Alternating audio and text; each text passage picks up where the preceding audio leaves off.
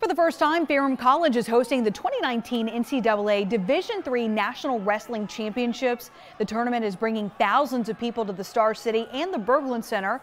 The director of sport development for Visit Virginia's Blue Ridge says they've been working to di diversify sporting events here in our area. This tournament specifically, we're hosting 74 teams and 180 wrestlers, many of which who have never been to the region. So our goal is to get people here for the first time and have an amazing experience. This is also the first time the division is holding the wrestling championship in Virginia.